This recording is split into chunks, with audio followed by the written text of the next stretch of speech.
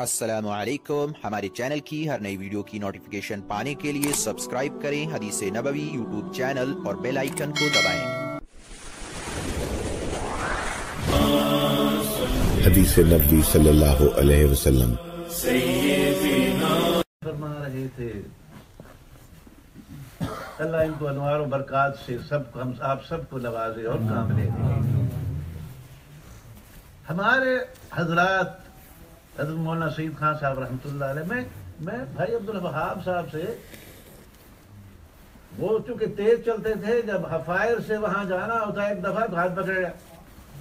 अब एक दफ़ा मैं चला गया, फिर मैं जो है ना, वो पीछे मैंने कहा, मैं तो इनके साथ इतना तेज नहीं चल सकता। और बहुत सी हिकायात है सौलतिया में आते, हज़रत जी अलैह जब सीब लाते थे तो बड़े मियाँ कहानियाँ तो मियाँ इनकी इस बात में मैं भी अर्ज़ कर दूँ थोड़ा सा।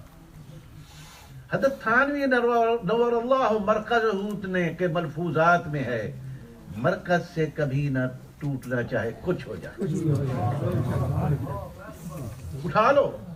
मलफूजात हज़रत थानवी नवर अल्लाह मरकज के हज़रत थानी नवर अल्लाह मरकज के मलफूजात उठा लो। मरकज से कभी ना टूटना चाहे कुछ हो जाए। आज हमारा मरकज निजामुद्दीन और मस्जिद बंगला। वाली है, मैं क्या हूँ। सहारनपुर भी गया हूँ, वहाँ भी गया थोड़ा सा उधर चले जाओ, जिनका ज़िक्र था। मरकज था मदीना मुनवरा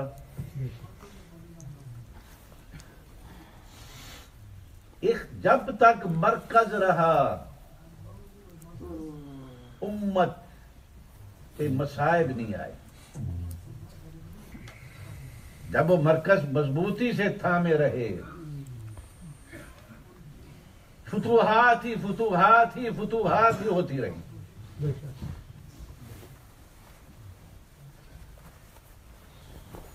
अपनी राय को जलीलो कद्र सहाबा ने कुर्बान करके फैसले की पासदारी की।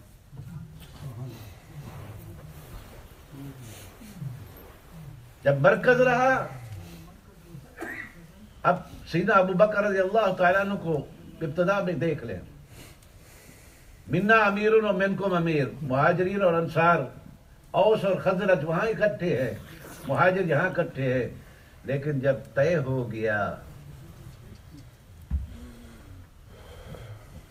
ये नहीं कि मेरी राय क्यों नहीं मानी गई? नहीं नहीं नहीं, हम देखें कि इसमें हमारा इन बुज़ुर्गों ने जो मिशन हमारे सुपुर्द किया है, इन्होंने इतनी कुर्बानियाँ दी है, इतनी कुर्बानियाँ दी है। असल अपनी जात नहीं वही मिशन। सैदा अबू तक उन्होंने मरकज ने सैना अबू बकर ने वो बंद लिफाफे पे सैना उमर की बैत ली है।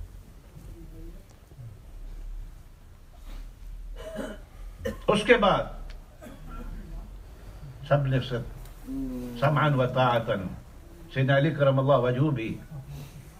उसके बाद शूरा ने सैना उस्मान रज़ी अल्लाह तु को अमीर उल बना दिया। फतूहात होती रही, दस साल दौर सीना उमर रज़ी अल्लाह को दौर देख ले।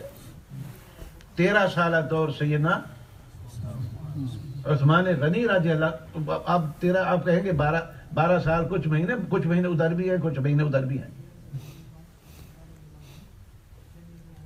इसमें इस्लाम कहाँ तक पहुँचा? कहाँ तक पहुँचा? अब जब मरकजियत को खत्म कर दिया गया, मरकजियत को छोड़ दिया गया कूफा इंतकाल हुआ। कोई फतू फत, फतह हुई? मुझे एक बता दो। काम चला आगे? वहाँ से मुसलमानों पर इब्तला इम्तिहान शुरू हुए। बनी उमैया का दौर है बनु अब्बास का दौर है। और वो सिलसिला आगे कुछ हुआ? कुछ भी नहीं यदुल्लाह जमा अल्लाह की नुसरत जो है, इनफिरादियत पर नहीं है। और जमा वही है जो मरकज के साथ हो।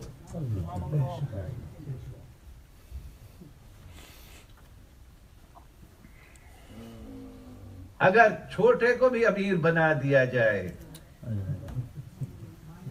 तय हो गया। जलील कद्र, जिन्होंने सारी ज़िंदगी यूँ समझे, बूढ़े हो गए इस काम में। हज़रत उसामा रदी अल्लाह उसामे बिन जैद रज़ी अल्लाह अनहुमा। हज़रत उसामे बिन जैद रज़ी अल्लाह अनहुमा के झंडे के नीचे जलील कद्र साहबा नहीं थे?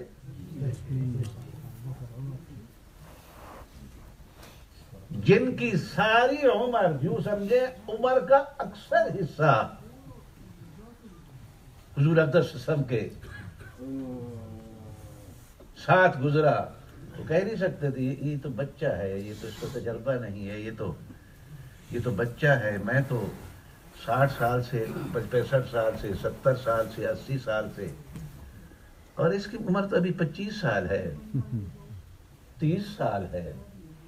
सीना उस्मान रज़ी अल्लाह तो छोटे थे छोटे थे तो सबने समान व खुदा की कसम इसी में बरकत है ला तफर्रकू नतीजा क्या निकलेगा वह तब चलू व तदबरी को तो वक्त चूँकि, खत्म हो गया, दो मिनट बाकी है। अब इसमें दुआई कर लेते हैं। अल्लाह ताला हमें इसका पाबंद बनाए, जैसे हज़रत थानवी नवल्ला मरकत कमियाँ देख लेना। कहना ये मौली साहब क्या कहा कि छोट मौली साहब, नहीं, मैं तो तालिब इल्म हूँ।